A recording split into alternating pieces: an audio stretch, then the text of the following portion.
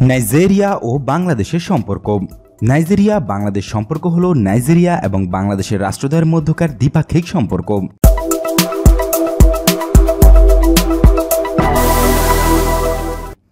বাংলাদেশ ও Nigeria উভয় উন্নয়নশীল আট দেশ অর্গানাইজেশন অব ইসলামিক কোঅপারেশন প্রভৃতি সংগঠনের সদস্য। দু হাজার দশ সালে বাংলাদেশের প্রধানমন্ত্রী শেখ হাসিনা আবুজায় আনুষ্ঠানিক সফর করেন।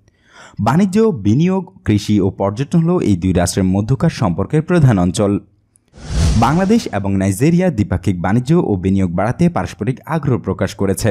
বাংলাদেশি ঔষধ নেটওয়ার্ক সিমেন্ট, পাট ও পাটজাত দ্রব্য সিরামিক, সমুদ্রে যাতায়াতকারী যান, আলোক প্রকৌশল, চামড়া ও প্লাস্টিক নির্মিত দ্রব্য সামগ্রী নাইজেরীয় বাজারে বেশ ভালো কদর পেয়েছে।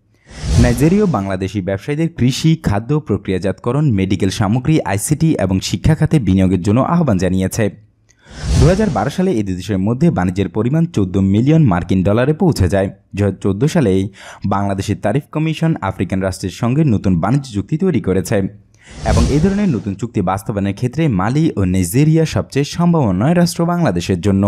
নাইজেরিয়া ছাড়াও বাংলাদেশের সম্পর্ক রয়েছে আফ্রিকার Algeria, Botswana, Gambia, Ghana, Ivory Coast, Kenya, Liberia সহ তানজানিয়া এবং উগান্ডার সঙ্গেও। বহির্বিশ্বে বাংলাদেশ সম্পর্কিত এরকম আরও ভিডিও নিউজ আপডেট পেতে চাইলে এখনই সাবস্ক্রাইব করুন এ ও ডব্লিউ নিউজকে। ভিডিওটি ভালো লেগে থাকলে অবশ্যই লাইক দিতে ভুলবেন না।